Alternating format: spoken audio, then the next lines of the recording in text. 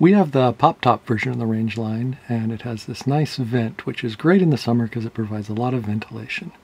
But what I've noticed is most of the airflow noise seems to be coming in right around the vent. Also, it's transparent, lets light in, and sometimes you don't want that.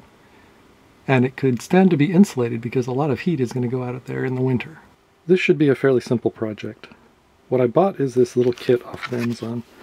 Uh, it's a thin insulated cover. It's made to fit exactly the right size as the vent in the roof.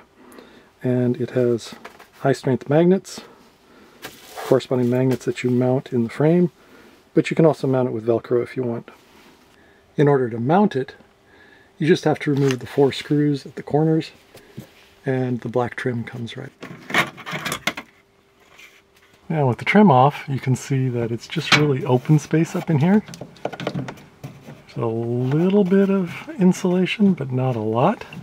And so I definitely want to fill that up with more insulation, um, help deaden the sound quite a bit, and also prevent any air leaking.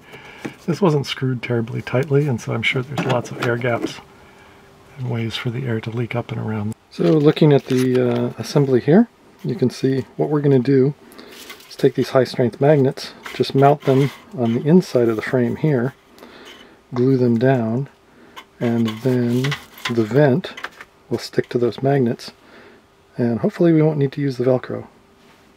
Okay, so here's one of the high strength magnets. So what we're going to do is find, oh, there it is. so you can see where the magnet is in the trim. And so if we mount this magnet on the same spot on the inside here, oh, a little too strong.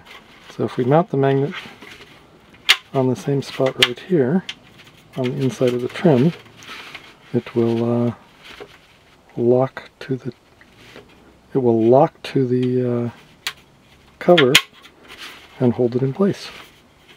What I'm going to use to attach it here is this uh, double-sided 3M sticky tape. It's supposed to be permanent. I don't know that it needs to hold it down particularly strongly because the magnets themselves will kind of self-adjust to where they need to be based on the cover below. Okay, so here's one of the little magnets. I have cut a strip of the adhesive to the appropriate length and now I will just stick it down.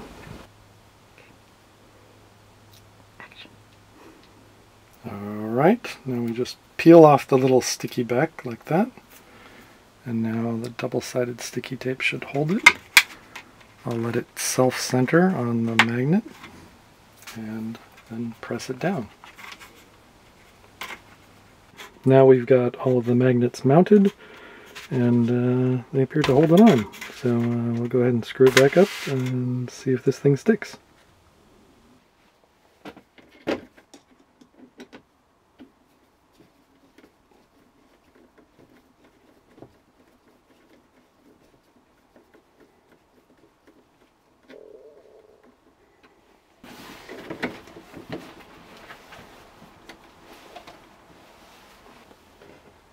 Alright, we got it all back together. Let's see if this thing works. Ah. Seems to stick on reasonably well. We'll see how it holds while it's driving.